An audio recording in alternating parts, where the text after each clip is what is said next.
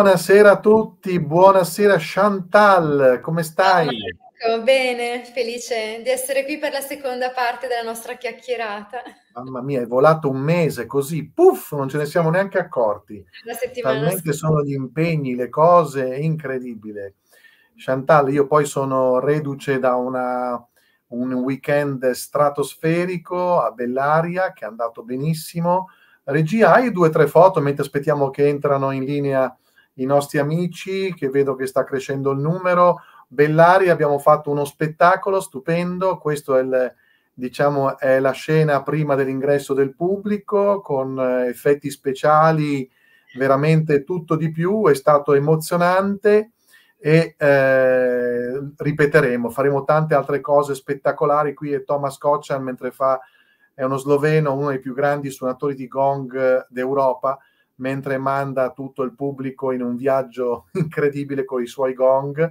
È stato stupendo anche perché poi appena finito il suono di gong era l'ora della pappa, erano tutti imbambolati, dico bene, così mangiate di meno e siete meno eccitati. Ed è stato così. Oh, è una, un'esperienza stupenda di cui ringrazio tutti quelli che hanno partecipato. Eh, ma noi non abbiamo tempo da perdere perché noi abbiamo interrotto un cammino e adesso lo riprendiamo e ci eravamo fermati proprio, proprio a una parola meravigliosa che si chiama Gesù. Mandami la slide dove eravamo fermi proprio prima, eccolo qua. E io eh, ho proprio iniziato mettendo questa bellissima immagine di Gesù scrivendo queste tre frasi. Pervaso di cristicità, non essere organizzato in nessuna religione, Cristo uguale uomo divino. Io, Chantal, non so se ti, se ti ho dato un assist o, o, qualcos'altro, però mi piacerebbe che tu commentassi queste tre, queste tre parole, questi tre punti di questa meravigliosa figura che è Gesù. Allora, io posso dire ovviamente eh, quello che mi riguarda, quello che mi risuona eh. dentro la mia verità, no? Poi ognuno, ognuno giustamente deve ricercare la sua, quindi io vi condivido solo il mio pensiero, quello che, che, che nutro dentro di me. Um, per me la cristicità, il Cristo, è lo stato di coscienza più elevato del nostro sistema solare, cioè quell'essere che ha come corpo fisico il nostro sistema solare. Cioè noi come organi abbiamo il cuore, i polmoni, il fegato. L'essere che si chiama Cristo, che ha lo stato di coscienza cristico, è un essere estremamente elevato che ha come organi il Sole, la Luna, Marte, Giove. Quindi ehm, è l'essere più elevato del nostro sistema solare ed è quello stato di coscienza che ognuno di noi è chiamato a raggiungere nella sua elevazione, terrena e non. Eh, Yeshua, Gesù, è stato, oh, Yeshua, è un grandissimo maestro spirituale, un, un essere illuminato che da uomo è diventato un essere divino, che è stato incorporato per un, per un tot di anni anche dall'essere che noi chiamiamo Cristo. Quindi in Gesù c'erano due persone, due esseri, l'anima di Gesù, un'anima estremamente evoluta, illuminata, e in più, più un'anima evoluta, più può essere abitato, abitata da, es- da esseri superiori. Quindi si diventa come io li chiamo i pullman di, di esseri ancora più elevati. Quindi in qualche modo lui ha ha potuto, grazie alle sue frequenze elevate, essere portare sul pianeta anche l'essere che chiamiamo, che chiamiamo Cristo. Ecco, Infatti, io mi fermo un secondo, ti faccio una domanda dentro la domanda. Ma Gesù è, secondo te, un, eh, mi, mi, spiace dire questa parola, ma eh, lo capiscono più velocemente, un avatar arrivato sulla Terra o è uno come noi che ha terminato il suo percorso di evoluzione, è diventato, come io li chiamo, un entelico, dal greco entelis, che vuol dire alla fine del suo percorso e quindi a questo punto ha assunto tutto quello che è diventato. Posso dire entrambe le cose. Eh, sicuramente un'anima che ha fatto un percorso e che è diventata un avatar, cioè, un avatar, cioè ha ritrovato una dimensione di, divina. Era quando noi raggiungiamo uno stato di coscienza, di illuminazione, di divinità, torniamo ad essere una parte del divino, quindi un avatar sulla terra. Ma penso che il suo più grande esempio, al di là se gli crediamo o no, al di là se pensiamo o no che sia esistito, al di là che pensiamo o no che abbia fatto i miracoli, quello è la risposta che ognuno deve, deve ricercare, io la mia sicuramente, ma al di là di questo penso che gli scritti, i testi antichi parlano di simboli, di, di, grandi simboli e la sua storia, che li crediamo o meno, però racconta la storia di ogni uomo. Cioè lui ci descrive quello che tutti noi dobbiamo fare. Non è solo eh, Yeshua, Gesù, che eh, ha raggiunto un certo stato di coscienza, ma quello che lui ha detto è tutti noi siamo chiamati a fare questo percorso, prima di tutto essere uomo. Allora io a volte ci scherzo no, su Gesù e dico cavoli, poteva scendere con le ali dorate, diffondere la sua parola e poi tornare. Chi gliel'ha fatto fare di passare dalla crocifissione, voglio dire? Scendeva, parlava e avremmo scritto di lui comunque per duemila anni, di quest'angelo sceso dal cielo che ha detto queste parole. Ma non voleva dare spettacolo, voleva, ed è questo stato secondo me la, la grande prova d'amore di quest'essere, se io posso farlo, anche voi. Io sono son diventato figlio, sono diventato uomo, secondo me è diventato anche marito e in questa mia umanità, in questa mia umanità eh, sono riuscito ad essere divino e, e, e, quello che ci dice è non io ma tutti noi. Esatto, quindi hai parlato di simbolo e io sono girato subito nell'altra, stra- nell'altra slide, il simbolo della croce cristica quindi è essere e ti mette al centro dell'universo. Io questa slide l'ho, l'ho preparata prima e, e tu hai detto esattamente la stessa cosa, quindi ne sono molto felice che pensiamo allo stesso modo. Eh sì, anche la croce come simbolo ha avuto un'evoluzione.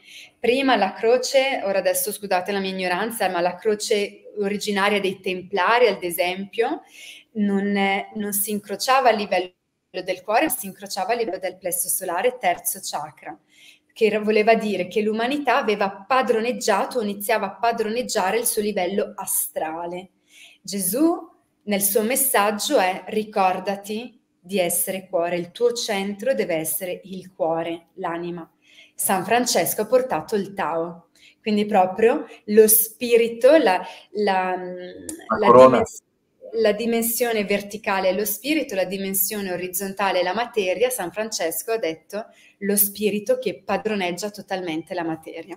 Quindi sono stati diversi esseri che hanno anticipato la missione dell'uomo, le tappe che certo. dobbiamo affrontare.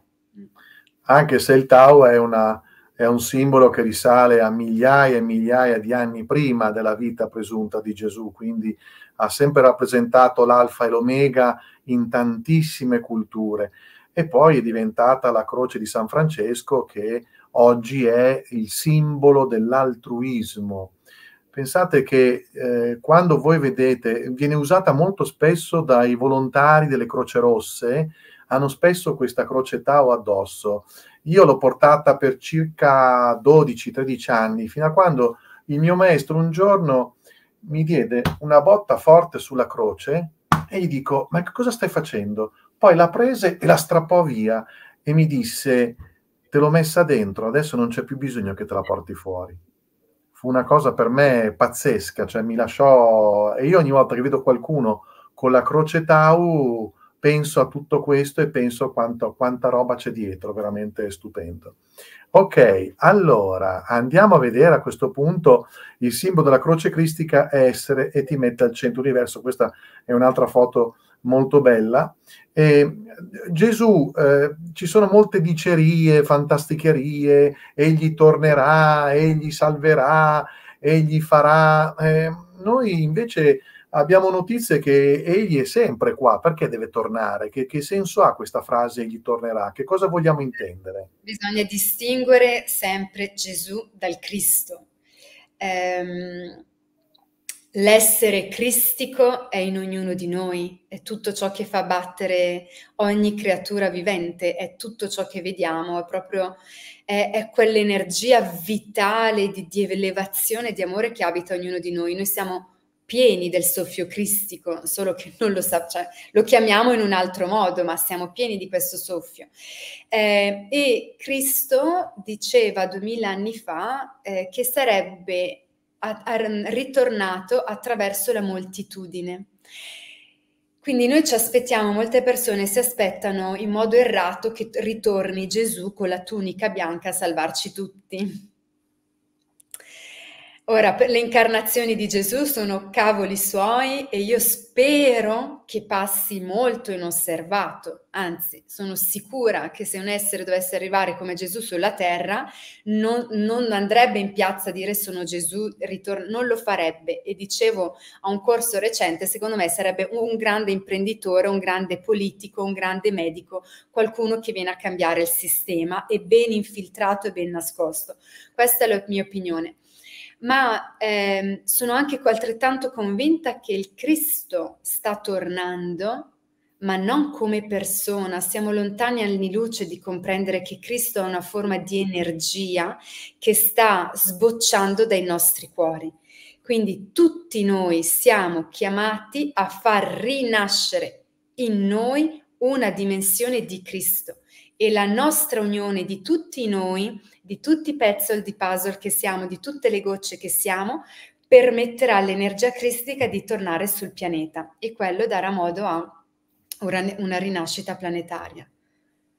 Ok, allora abbiamo ovviamente contezza, si dice, in questa fase molto delicata, anche se eh, questa delicatezza di questi ultimi anni, parliamo dal 2020 fino ad oggi, ci sono molte, molti canali che dicono che tutto questo durerà circa cinque anni e poi si dovrebbe arrivare a un periodo un pochino più tranquillo e di riflessione in base a tutto quello che è accaduto, anche se io dico sempre che l'essere umano è veramente eh, la persona con meno memoria che esista, perché basta girarsi cento anni fa e, e guarda cosa era successo esattamente, era già finita una prima guerra mondiale, c'era stata una, una pestilenza incredibile, una febbre, non mi ricordo più se era la spagnola, sì la spagnola, e poi c'è stata il 29 dove rasa al suolo tutte le, le finanze del mondo e poi per finire un'altra bella seconda guerra mondiale, quindi la gente ha memoria corta, ma la situazione era drammatica cento anni fa, non sto parlando di mille anni fa molto più drammatica, però in questo momento viene più patita, secondo me è l'effetto global, cioè mentre prima non c'erano tutte queste informazioni in tempo reale, oggi si vive una qualsiasi situazione in un nanosecondo, lo sanno tutti, e questo ovviamente coinvolge tutti a livello emotivo ed ecco quello che sta accadendo. Secondo me non siamo in una fase di terza guerra mondiale, cioè non siamo in una fase di, eh, di preoccuparci di questo, però è sicuramente un, un, transito, sicuramente c'è qualcosa in atto che sta avvenendo. Io di questo me ne sto rendendo conto. Cosa ne pensi tu, Chantal? Siamo alla fine di un tempo, all'inizio di un tempo nuovo. Io non credo molto, eh, né, né sono abitata da questi concetti, tra un mese passa tutto, tra un anno, tra due anni. Eh, penso che l'evoluzione sia molto più lenta e me ne rendo conto solo guardando fuori da casa o guardando in casa mia, dove ancora siamo lontani, lontani noi da essere un essere umano migliore, figurarsi fuori. Eh, si parla molto di quinta dimensione, di allora io cerco di spiegare che gli esseri di quinta dimensione sono degli esseri umani che vivono totalmente al servizio dell'amore, sono gli esseri totalmente spirituali, sono esseri che ormai non si cibano più fisicamente, si nutrono di amore, di energia. Cioè secondo me siamo lontani da una quinta dimensione, ma sicuramente stiamo entrando nell'era del cuore, dove per i prossimi secoli l'essere umano dov- non dovrebbe, dovrà dovrà scegliere di vivere, di mettere in avanti prima il cuore, cioè la ghiandola del timo.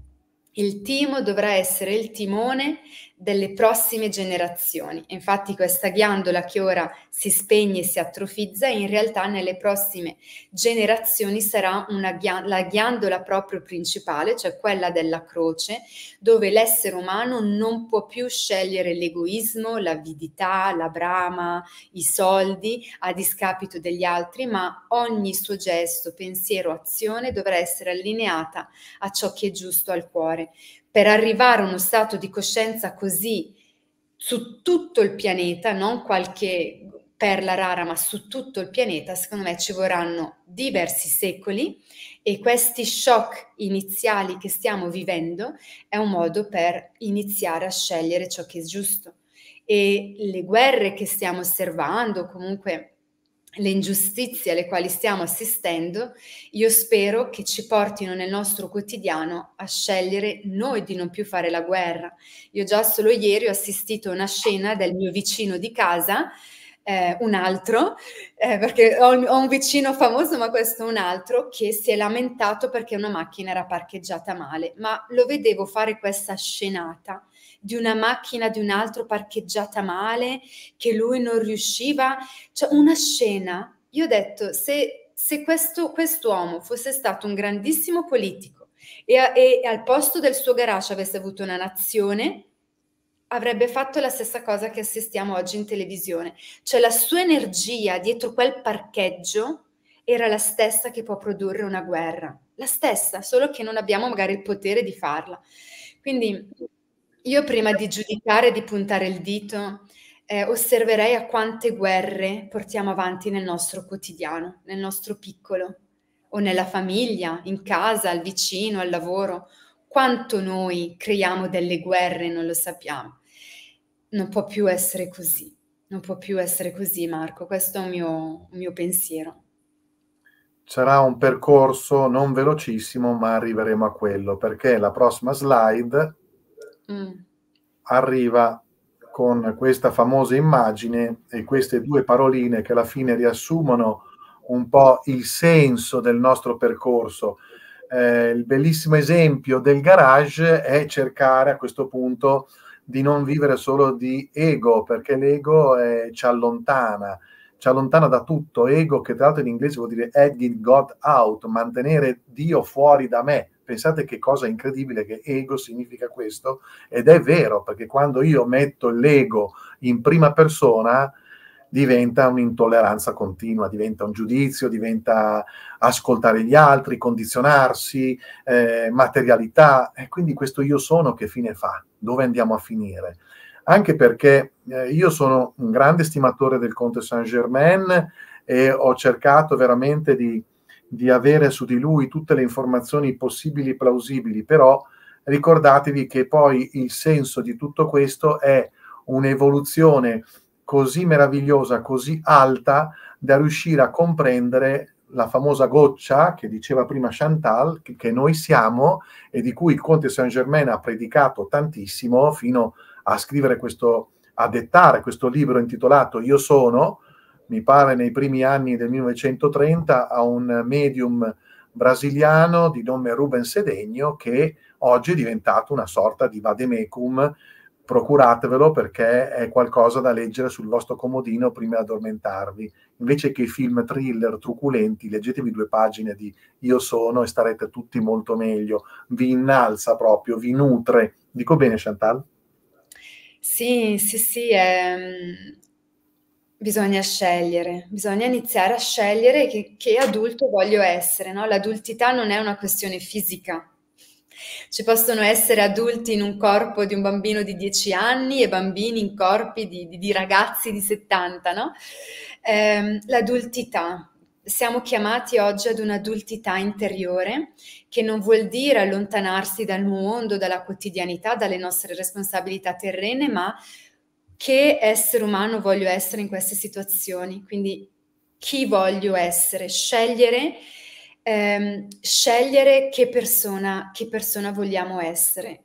Quindi per arrivare all'io sono, ci vuole proprio un percorso di scelte, a volte anche difficili, scelte di responsabilità, scelte mature, scelte dove evitiamo di reagire, di essere in preda alle emozioni, all'irascibilità, alla brama, agli istinti, ma fermarci un attimo, fare un passo indietro prima di reagire alle situazioni, in quel passo indietro dire ok, io chi voglio essere?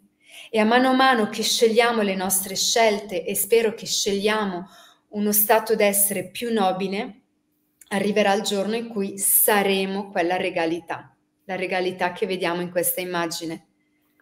D'altronde, il caro Conte Saint-Germain, noto alchimista, grande affabulatore, suonatore di strumenti tipo il violino, che dicevano che era più bravo di Paganini, eh, accolto alla, alla, corte del re di Francia, re Luigi, da, grazie all'intercessione di Madame Pompadour, che era la favorita, questo alchimista inventò l'elisir di lunga giovinezza, questa ampollina con dentro queste gocce che messe sulle guance delle donne imbellettate sparivano subito le rughe. E quindi il conte Saint-Germain era veramente un mito, ma lui disse anche una frase che rimase scolpita nella storia. Lui un giorno disse io sono riuscito a coagulare il corpo cosciente io sono riuscito a coagulare il corpo cosciente. Ma vi rendete conto di che potenza è questa parola? Cosa vuol dire coagulare? Siamo nel 1600, coagulare vuol dire raffermare, no? Quando il sale, il, scusate, il sangue coagula e rafferma a coagulare, raffermare il corpo cosciente. Che cos'è il corpo cosciente? Il corpo cosciente è quello che noi abbiamo dopo il nostro corpo fisico. Quindi se io sono riuscito a coagulare il corpo cosciente, io ho vinto quel famoso incredibile nomignolo chiamato morte, perché continuo a sopravvivere nonostante il corpo fisico è finito e io ho raffermato, ho coagulato il corpo cosciente. Ed ecco che nasce la famosa eh, leggenda del conte Saint-Germain che viene visto nei secoli dopo ovunque, ma questo è possibilissimo, ve l'assicuro, testimoni, persone importanti, tanché comunque non esiste né un funerale né un cimitero né una tomba di questa persona e continua a essere avvistata in giro per il mondo a fare e disfare cose importanti per l'umanità. Io trovo tutto questo fantastico e anche qua non lo so Chantal, anche lui è uno come Gesù, un maestro asceso, un avatar, è uno che ha fatto tutte e due, che, dove lo vogliamo collocare Saint Germain? Io penso che qualsiasi essere che mostri la divinità in terra eh, sia stato, ora non so se uomo, ma abbia fatto la scelta coraggiosa come tutti noi di dimenticare la propria luce, Magari l'hanno fatto in cicli di vita di, di milioni di anni prima delle nostre anime, ma per far sì che noi oggi, come un Maître Saint-Germain o un Gesù, possano padroneggiare la loro divinità sulla materia, cioè possono, possono padroneggiare le leggi della materia e, e far regnare le leggi dello spirito, è perché hanno attivato la loro divinità in uno stato di coscienza che aveva dimenticato di sé. Ci hanno conosciuto anche loro l'oblio, dove e quando magari in epoche e in mondi molto precedenti al nostro, ma per essere degli artisti che, spirituali come lo sono è perché hanno frequentato le nostre scuole precedenti. Ecco, noi è come se fossimo alle medie, loro le hanno già fatte, sono già all'università, hanno superato l'università, ma sono passati dal nostro stato di coscienza. In qualche... questo, è questo, è molto sì. importante quello che stai dicendo, eh? molto. Loro sono passati dal nostro stesso punto e sì. quindi questo è importante. Senti, io ti, ti leggo solo una domanda perché le, le, domande che stanno facendo questa sera sono un po' strane, a parte il Francesco che chiede dove si trovano queste gocce. Mi hai fatto ridere. Sonia Francalacci chiede ancora una volta la profezia dei tre giorni di buio. Cosa ne pensi, Chantal? Lascia a te la risposta perché io non mi pronuncio. Allora, io ho la mia opinione e rimane la mia, ok? Quindi non, non penso di detenere nessun tipo di verità. Allora, bisogna comprendere che le anime evolute che hanno scritto i testi sacri o le profezie non hanno una mente terrena e logica come la nostra, ma hanno una mente spirituale analogica, cioè utilizzano lo sguardo dell'anima. Quindi non descrivono secondo me, avvenimenti che avvengono nel quotidiano, ma descrivono avvenimenti energetici, tipo la famosa Apocalisse, leggendola, secondo me parla, almeno io che sguazzo un po' a volte nell'astrale, descrive proprio quello che si vede nell'astrale. Idem i tre giorni bui. Innanzitutto, secondo me non sono tre giorni, ma sono un periodo che si ripete a tre. C'è chi dice che sono tre volte tre anni, tre anni, quindi nove anni, che sono già iniziati da un po'. Non sono tre giorni fisici. E il buio non è esterno, ma è un buio interiore. Brava! È un buio animico, ok? È un, è un, buio proprio della coscienza e penso che siamo completamente dentro questo periodo Inoltre si parla di questi tre giorni di una cosa particolare. C'è questa leggenda che fa paura, secondo me, che narra se qualcuno, eh, rinchiuditi nella tua casa durante quei tre giorni di buio, se qualcuno bussa alla tua porta e anche se è qualcuno che conosci molto bene, non aprire quella porta perché potrebbe non essere lui, ma potrebbero essere entità. Non so se ti, hanno, ti hanno mai chiesto questa cosa a te, Marco. Certo, certo.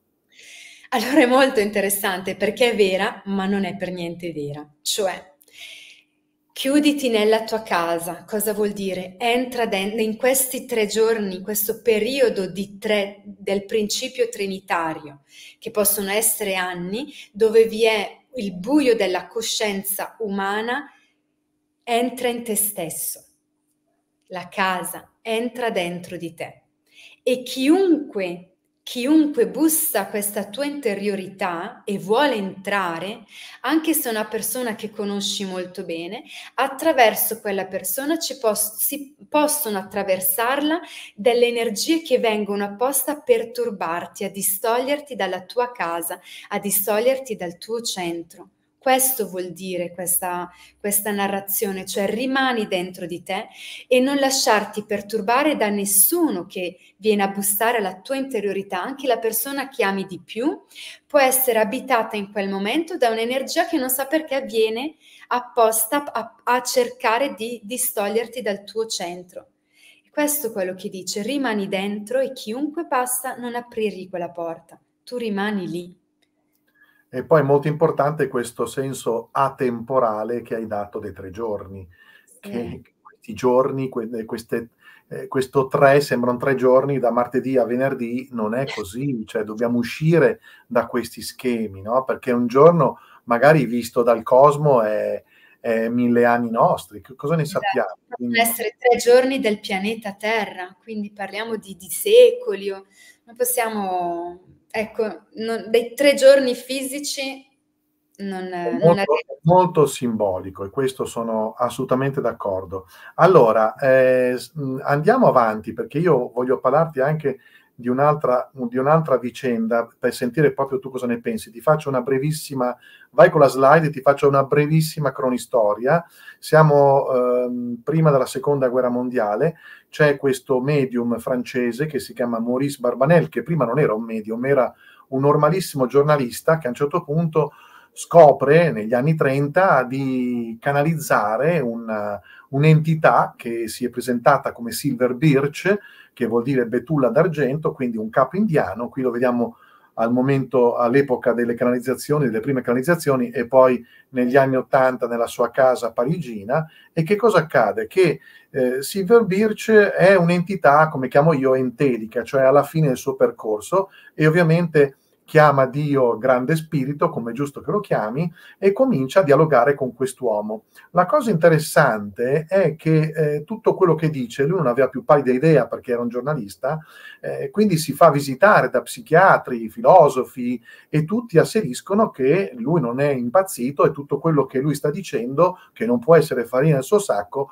è meritevole di studio. Quindi si forma il classico cerchio di conoscenza dove il medium espone. Da qui nasce un libro che io acquisto la bellezza di 13 anni fa e a un certo punto a pagina 155, tanto un libro particolare perché a sinistra è scritto in inglese, a destra in italiano, quindi sembra quasi un esercizio di traduzione simultanea e a un certo punto a pagina 155 leggo questa domanda, secondo me logica e molto umana. Quando lasceremo il corpo fisico, quello che adoperiamo nel mondo dello spirito è reale e solido tanto quanto quello che lasciamo indietro? Voi immaginate questo gruppo di persone che ovviamente, parlando con questa entità molto alta, hanno bisogno di un po' di conforto, ma eh, noi che cosa diventiamo? Un'energia impalpabile o abbiamo un altro corpo? Bene, quando io lessi quella risposta, la mia visione sulla vita e sull'insieme cambiò radicalmente e non c'è giorno che io non ci pensi. Adesso voi capirete perché. Leggiamo insieme la risposta avrete un corpo molto più reale e molto più solido di quello che lasciate indietro nel mondo della materia, perché il vostro mondo non è il mondo reale affatto, è solamente l'ombra gettata dal mondo dello spirito. La nostra è la realtà e voi non capirete la realtà fino a quando non passerete nuovamente nel mondo dello spirito. Wow! Se voi fate vostra questa frase, poi adesso ovviamente chiederò il commento a Chantal, cambierete completamente la visuale, la modalità, e non vi farete fagocitare dalle paure, dalle emozioni più negative, cercherete di avere un qualcosa che vi separa da tutte queste emozioni negative e che vi un po' vi, vi difende, perché questo, questa è una prova eh, questo non, non, è il mondo reale, il mondo reale è quell'altro, io sto finendo qua dentro per fare, per conoscermi, per diventare più consapevole, ma la loro è la realtà, non la mia. Cosa ne pensi, Chantal? Eh, posso solo dire una parola, Marco. Amen. cioè, eh, in questa frase c'è tutto quello che cerco di, di trasmettere. La nostra realtà non è questa, è l'altra. È questo il sogno, è questo il viaggio illusorio, è questa la, la sala del cinema nella quale ci siamo immersi per qualche anno. Eh, e, e, lo dico spesso anche a persone che mi dicono ma io non so se credere alle tue parole, dico giustamente no, assolutamente non bisogna credere, ma bisogna sperimentare, però io mi dico prima o poi ci ritroviamo tutti dall'altra parte, quindi ci guarderemo e ci diremo, cavoli, mi ricordo che l'avevi detto, perché è così, mi succede quotidianamente, no? Di incontrare persone nell'oltre che, che rinascono proprio. Non è una morte, la morte non è una morte, è una rinascita nella nostra vera realtà in un corpo molto più vivo. Ehm, molto più vivo, ecco la sensazione... Molto più luminoso, anche possiamo dire, no? La sensazione che si ha quando si abbandona il corpo fisico è di vita, non di morte, è di, finalmente torno alla vita. Eh, Ma basti sono... pensare agli acciacchi fisici, la malattia, eh, quello che, che, non esiste più nulla, quindi la vita ovviamente esplode dentro di te, è un'energia che noi non possiamo neanche considerare. Giusto? Sì, ma il risveglio della coscienza, la memoria di chi siamo, di tutto ciò che siamo stati, la memoria di tutto ciò che è. Eh, quella, quella, è la nostra casa, la nos- il nostro vero stato di coscienza. Qui, qui, che qual è il compito qui? È proprio indossare un, una, una tuta che ci faccia dimenticare tutto questo per scegliere di esserlo nella nostra quotidianità. Cioè è proprio riuscire ad essere quello stato di coscienza che abbiamo nell'oltre qui oggi, con la e famosa quindi, scelta che dicevamo. E quindi lo si fa un pochino per volta, perché tutto una volta sola mi sembra un po' difficile, giusto? Si può, no, non si riesce. Non per, può, per, questo, per questo è lo scopo delle reincarnazioni. Cioè ogni volta scendo, prendo quella muta che mi fa dimenticare, cerco di essere in quell'ambiente lì un po' di più anima. E ce l'ho fatta se non ce l'ho fatta, comunque si ritorna, ci riprovo fino a quando non ci riesco, poi scelgo un'altra qualità di, animica da essere sul pianeta e così fino all'illuminazione che cos'è? È quando noi saremo l'essere che siamo nell'oltre, lo saremo totalmente nella materia, o meglio, avremo alchemizzato, avremo spiritualizzato la nostra materia e il nostro ego e li avremo allineati alla stessa essenza che siamo anche a livello, nell'anima e nello spirito. D'altronde, come disse Virginia Woolf, la vita altro non è che un sogno dal quale mi risveglio morendo. Aveva così ben compreso questa cosa che si è, suicid- che si è suicidata a 40 rotti anni. Aveva compreso perfettamente. Eh? No, il suicidio non è la soluzione. Non è la soluzione, ma era così convinta che è andata. E eh, tra l'altro, se voi entrate in questa frase incredibile, comprenderete che è un film, ma è anche da dirvi, cari miei, che io non ho mai visto un film dove non accade nulla. Cioè, il film comprende le parti belle e le parti brutte. Se voi andate al cinema con una vostra amica e dopo 40 minuti non succede niente, tutti che si baciano, che si abbracciano, che tutto va bene, voi direte ma che noia questo film, vi alzate e ve ne andate. La stessa cosa è la vostra vita, la vostra vita è fatta di opposti che dovete imparare a gestire, ovviamente più o meno grandi, a seconda del vostro percorso, perché ricordiamocelo sempre, questo lo ritengo anch'io, spero che lo, lo ripensi anche tu, è che noi ci, ci scegliamo la nostra vita, su questo non v'è dubbio, giusto?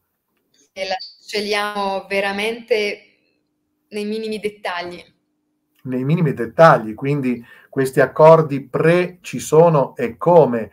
È che poi per fortuna entriamo nell'oblio e a un certo punto eh, abbiamo ogni tanto qualche déjà vu per dire ma io questa scena l'ho già vista, mi è già successa, eh, l'hai già vissuta, l'hai già accaduto in un non tempo tutto accade, è già accaduto. Allora, se io dunque io non ho, non ho letto più domande perché ero completamente attratto dalla bellezza delle parole di Chantal. Secondo voi è possibile avere ricordo abbastanza bene gli anni prima dei tre anni?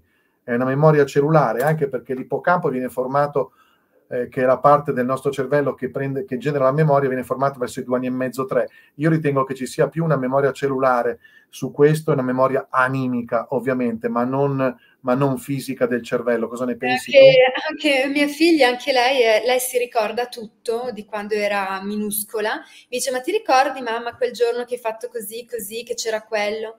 E dico, ma Margot, non avevi neanche un anno, come fai a ricordarti? Eh, quindi non lo so, non, eh, sono da studiare. È molto, molto da studiare. Eh, dato che ci sono accordi previta, questo è il migliore dei mondi possibili. che dici Chantal? Questa è una delle migliori destinazioni che abbiamo scelto?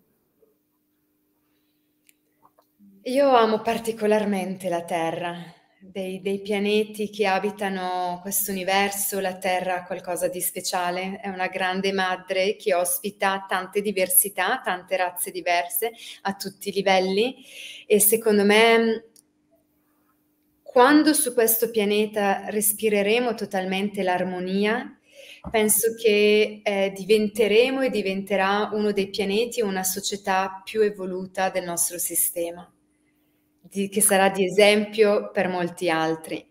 Eh, ci arriviamo. Può darsi che ci siano state delle civiltà prima di questa più evoluta che poi sono scomparse e abbiamo ricominciato da capo? Ma io ne, ne sono convinta. La teoria di Darwin eh, spero che, che, sparirà dai testi di scuola molto presto. Perché ah, me, lo, me, lo, auguro anch'io. Non è, non è reale, no? È facile pensare che l'essere umano discenda dalle scimmie, no? È più facile avere un, un'umanità, un popolo che pensi di essere piccola, che un'umanità che ha la coscienza, la consapevolezza di discendere da esseri stellari. Ovvio che è, è un'umanità molto meno manipolabile, quindi assolutamente, e per questo che io organizzo diversi via- viaggi in Egitto, perché ci sono proprio le prove in quella terra, se sappiamo leggerle, che i nostri avi erano degli esseri di altri mondi. E eh, noi siamo l'unione di due DNA di altri mondi, un DNA più maschile, più egocentrico, che è quel DNA che ha prevalso in questa prima parte dell'esistenza e che ci ha portato a cadere, a identificarci con l'ego, la personalità, a fare guerre, a lottare, a essere sempre più egocentrici.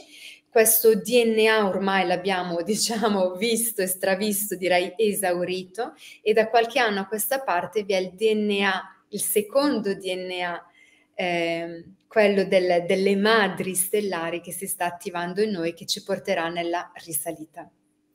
Quindi, come sempre, tutto passa dal DNA. questa, questa doppia elica incredibile che racchiude la storia dell'umanità. Pensate che è una cosa talmente microscopica e talmente importante che se noi prendessimo il DNA di tutti gli 8 miliardi che siamo, li mettessimo tutti insieme, avremmo in mano un chicco di riso gigantesco, niente altro, di 8 miliardi di persone. Questo per farvi capire quanto è minuscolo il vostro DNA, ma quanto è importante. Allora, ehm, io adesso, tra l'altro mi veniva, mentre parlavo, mi veniva da dire anche, cara Chantal, che il il mio maestro mi diceva che sono le scimmie, sono le scimmie che discendono da noi, non, da, non noi dalla scimmia. E, e, si metteva a ridere.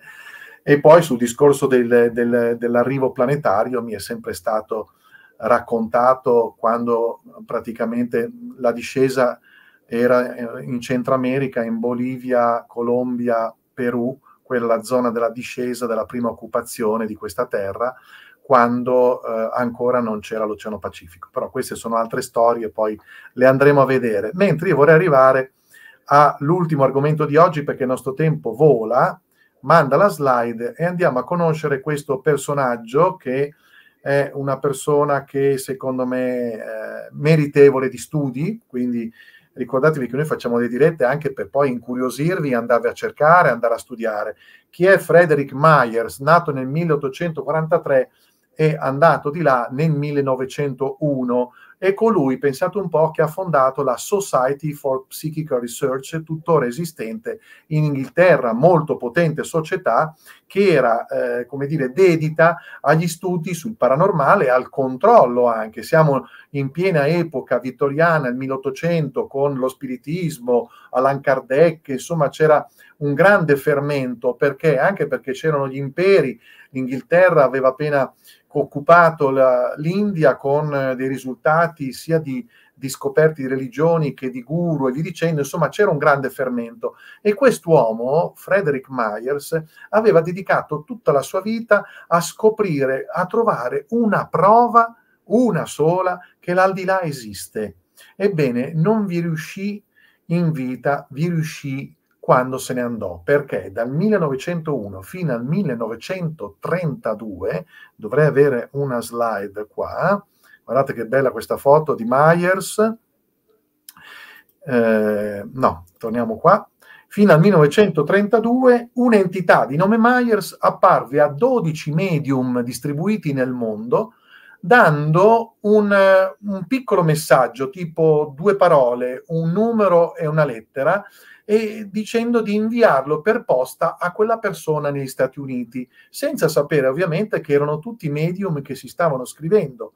E ogni volta appariva questa entità Meyer. Stiamo parlando di 31 anni di quella che venne poi chiamata le corrispondenze incrociate di Frederick Myers, qualcosa come 3000 invii in questi 31 anni, dove praticamente lui riuscì a dimostrare che era lui perché venne formato attraverso questi incroci, quindi in persone che non si conoscevano nei, nei, punti più svariati della Terra, dei libricini di letteratura classica minore già pubblicate nel mondo.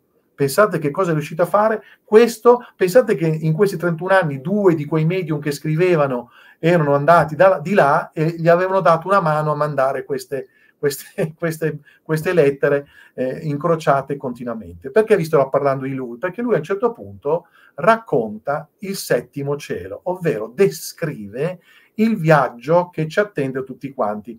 E io vorrei arrivare, ne parliamo un pizzichino a Chantal, perché ci sono degli aspetti che coincidono con quello che lei scrive e dice, ma vorrei anche un suo punto. Per lui il primo cielo è la terra, punto.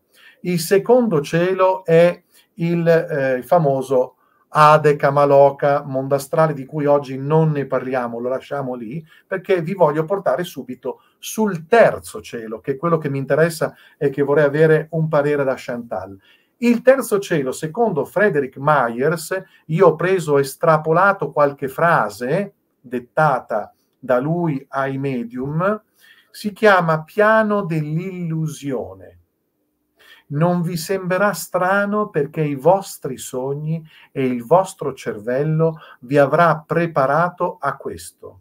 E anche se vi è un'assoluta oggettività ed un piano fatto di forma sottile di materia che può essere plasmata dalle vostre emozioni e dai vostri pensieri umani e poiché voi umani vi giungete dopo anni di immersione di vita mentale ed emotiva sulla terra, incluso i vostri desideri sessuali o nati dalla voluttà, voi recenti giunti ne rimarrete incantati e affascinati.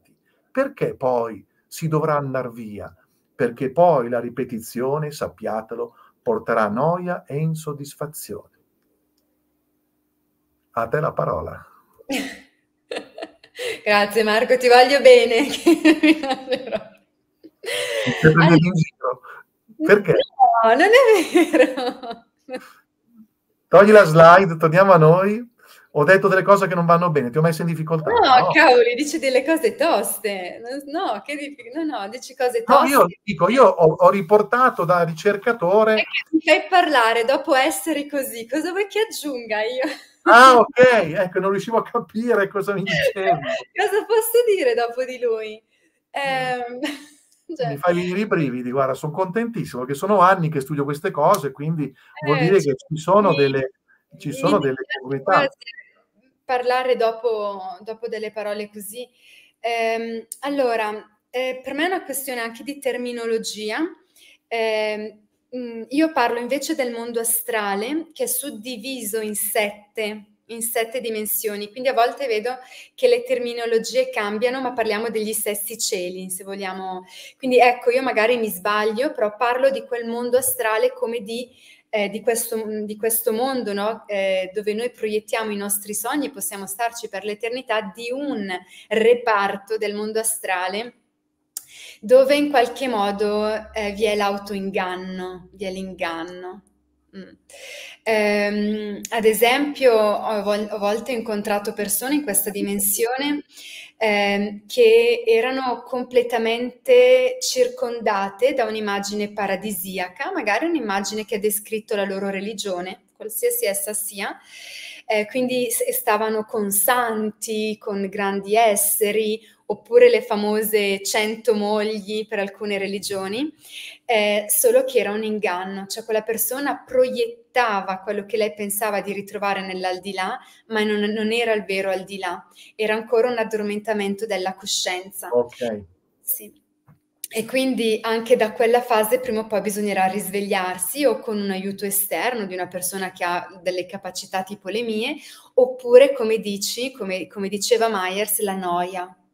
Perché dico questo? Perché molte persone mi chiedono ma come, come fai Chantal o come posso fare a distinguere qualcosa che vedo, che, come faccio a sapere se è vero o se non lo è, il vero dal falso? E io dico sempre, cerca di percepire il contenuto di quella immagine, perché nella nostra società, e siamo formati apposta così, ci basiamo solo su quello che vediamo. Tipo, ne parlavamo prima con Marco, scusa se mi dilungo, no? Parlavamo di questa moda di fare ormai solo eventi online e lo ringraziavo Marco per l'evento che ha fatto in presenza perché è fondamentale ritrovarsi nel fisico, perché quello che passa energeticamente nel fisico non passa con l'online. Per questo anch'io cerco di fare il più possibile in presenza, perché il, quando, per esempio, mi capita di parlare, a volte sono abitata da, da, qualcosa che mi arriva, da un'energia più elevata che non è mia, arriva dall'alto e passa, passa attraverso di me, arriva alle persone oltre quello che dico. Quindi la presenza è, ehm, è fondamentale. Invece noi ormai siamo abituati a vedere solo delle fotografie, delle immagini, dei film e non siamo allenati a sentire quello che c'è dietro allora bisogna riallenarsi a sentire quello che c'è dietro le immagini e a vedere se sono piene dell'energia che portano l'immagine o se è un'energia vuota. Ti faccio un esempio, poi concludo, no? In Egitto, qualche mese fa, in un viaggio scorso, ero in un tempio, il, tom- il tempio di Horus. Insomma, sto tempio di Horus non c'era vedevo delle scene di potere, delle energie di potere che avevano deviato questo tempio, quindi con il gruppo ci mettiamo in meditazione, diciamo dai, cerchiamo di aiutare un po' sto Horus a tornare, che non c'è, Horus non abita il suo tempio, non va bene. E quindi vabbè c'è stato un lavoro molto più profondo, adesso la, la butto sul leggero, ma a un certo punto mi appare Horus davanti a me, lo vedo, mi arriva e mi sorride, mi guarda e una parte di me pensa, ok, è tornato. Questa cosa mi doveva portare a smettere di meditare e andarmene. In un batter di ciglia sento che non è lui e glielo dico, tu non sei Horus, perché l'energia di Horus è l'energia del Cristo, l'energia cristica, un'energia di pienezza, di amore, cioè tutte le cellule si riempiono e vibrano, non c'è più nessun tipo di bisogno, di assenza, di dolore, si è colmi di questa energia. Lì, a parte la visione, non avevo i brividi, non avevo niente. E gli ho detto, tu non sei Horus, e mentre ho detto questa cosa, questa immagine si è, diciamo, dissolta e di nuovo il tempio era, non era abitato da questa energia. Perché dico questo? Perché l'inganno fa parte dei nostri tempi. Dobbiamo saper discernere ciò che è vero da ciò che è falso. E questa dimensione che Myers descrive ci insegna proprio questo. Saper distinguere il paradiso da un falso paradiso il paradiso non è qualcosa di esterno, una forma, una prateria dove sogniamo, balliamo. Il paradiso è uno stato di coscienza, è uno stato d'essere. Poi ci sono abitazioni, ci sono che vibrano quella frequenza, ma prima di tutto è uno stato di coscienza. Allora l'anima in quella dimensione ad un certo punto arriverà a dirsi ma questa dimensione è bellissima, il mondo dei balocchi, ma mi manca il gusto di Dio. Certo. Due cose, Chantal. Vogliamo spiegare chi era Horus? Perché parlavamo di Horus come se fosse il nostro vicino di casa, ma molti secondo me non hanno idea. Non hanno... Quindi magari se vuoi spiegare in due parole chi è Horus. Eh, allora, per me, per me, sempre per me, ehm, era un dio egizio, innanzitutto, era un grandissimo dio egizio e raffigurava ciò che per noi rappresenta oggi l'energia cristica, quindi rappresenta l'essere illuminato, colui che vede al di là della forma, al di là di Maya. È l'energia dell'assoluto, l'uno, quella forma di coscienza che non è duale, che non è separata, è l'uomo riunificato a Dio. Eh, quindi noi lo rappresentiamo con il Cristo, gli egizi lo rappresentavano con Horus e poi ora mm, altri ecco, popoli. Gli egizi, quindi stiamo parlando del 3000 a.C. più o meno come, come epoca? Sì, forse anche prima. Sì, sì. Forse anche prima, quindi stiamo parlando di una divinità o comunque di un maestro asceso molto molto prima di Gesù. Questo è esatto. molto importante. Oh, eh, se il paradiso è uno stato di coscienza, le religioni cosa predicano? Aspetta, prima di questa domanda, quindi prima hai parlato di stato di vibrazione, quindi vogliamo ammettere che di là dipende da, dagli stati di vibrazione, questi, diciamo, questi punti che andiamo a incontrare eh, nel, nel nostro viaggio astrale, a seconda di quanto vibrano? Totalmente non è detto che dobbiamo passare da questi stadi da, questi, da queste dimensioni, se noi abbiamo vinto l'inganno nella nostra vita, cioè non ci facciamo più autoingannare dalle nostre maschere, dal nostro ego, ma abbiamo trovato la nostra autenticità, la nostra verità, ci siamo smascherati e se siamo stati in grado di smascherare l'inganno esterno, non passeremo da una dimensione che ci inganna. Come passiamo di lì, la salutiamo, sorridiamo dice sì, voi vi conosco e passo oltre. Quindi attraversiamo le dimensioni astrali che non abbiamo risolto in vita. Cioè l'astrale non è qualcosa di separato dalla vita terrena che stiamo vivendo, noi siamo immersi anche adesso nel mondo astrale, altrimenti non proveremo emozioni. Quindi tutto quello che noi non superiamo eh, in, nell'incarnazione saremo chiamati a superarlo nell'astrale, fuori dal corpo fisico, ma saranno le stesse identiche prove. Perché per raggiungere ciò che chiamiamo il paradiso, il paradiso è la dimensione dell'anima, quindi dobbiamo spogliarci da tutto ciò che non è anima. Se non l'abbiamo fatto in vita, dovremo, se riusciamo, farlo nell'aldilà, altrimenti ci reincarneremo in dimensioni dell'astrale elevato, ma non raggiungeremo lo stato di coscienza animico nell'oltre. Dovremo reincarnarci, rispogliarci dell'ego per raggiungere il paradiso. La faccio veloce perché so che il tempo stringe. È possibile quindi che il nostro stadio finale è quello di raggiungere il famoso corpo cosciente di Saint Germain? Che quindi eh, a questo punto può stare in qualsiasi stato di dimensione. Eh certo, eh certo è, and- è aver integrato tutte le dimensioni, le sette dimensioni in noi, padroneggiare tutte le sette elevazioni dell'essere umano e, e da lì noi possiamo viaggiare in qualsiasi dimensione. Sen- adesso noi possiamo viaggiare solo in questa, per le altre bisogna chiedere il permesso. Esatto. Ma una volta che noi saremo tutte queste dimensioni coscientemente, saremo un essere libero da ogni dualità, saremo un viaggiatore astrale. Eccoci qua, quindi abbiamo esattamente la stessa visione. Molto bello. Allora, per chiudere, andiamo a rivedere questa domanda. Se il paradiso è uno stato di coscienza, le religioni che cosa predicano? Io non rispondo. Come? Allora, allora eh, per me bisogna distinguere le fondamenta di una religione. Per me tutte le religioni nascono da una verità da una visione di un essere o più di più esseri illuminati che hanno detto prima di noi tutto quello che stiamo dicendo, che altri dicono. Tutte le religioni, con parole diverse, con simboli diverse, diversi, tutte raccontano la stessa cosa, la stessa immagine della vita.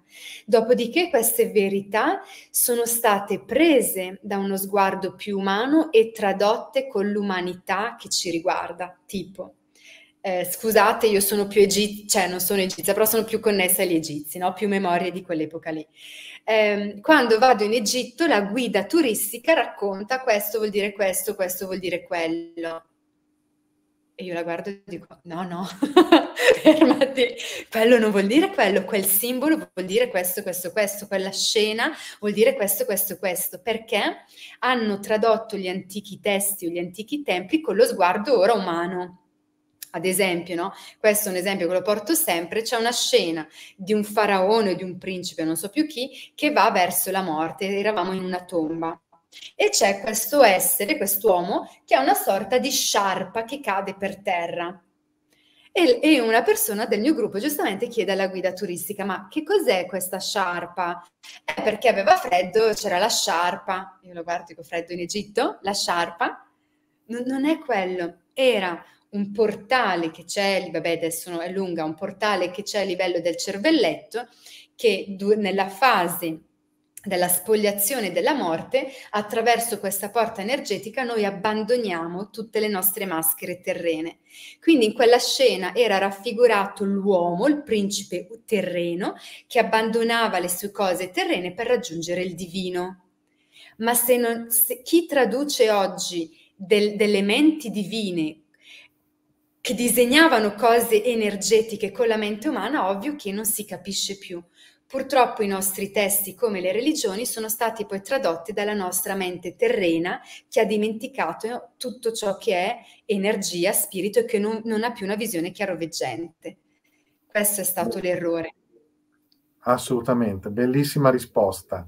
Bene, come sempre la nostra ora è volata via, noi abbiamo un altro appuntamento il 4 dicembre e quindi abbiamo una terza parte. Io ti ringrazio tantissimo, vi ricordo Telegram per quanto mi riguarda, cercatemi sul canale pubblico, tutte le mattine da tre anni e mezzo alle sette mando un vocale, è già pronto quello di domani mattina e quindi iscrivetevi al mio canale Telegram Marco Cesati Cassin oppure andate a visitare il mio sito marcocesaticassin.com per tutti i miei appuntamenti. Tu vuoi dire qualcosa, cara Chantal?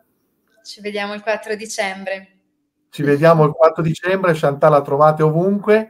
E, è stato un piacere, io mi trovo benissimo nel, nel chiacchierare in queste due maniere e, poi alla fine vedete che i punti si incontrano. Grazie a tutti per aver partecipato, grazie alla regia Alessandro, come sempre preziosa. Buonanotte a tutti, buon weekend, a presto. Ciao a tutti. Un bacio grande.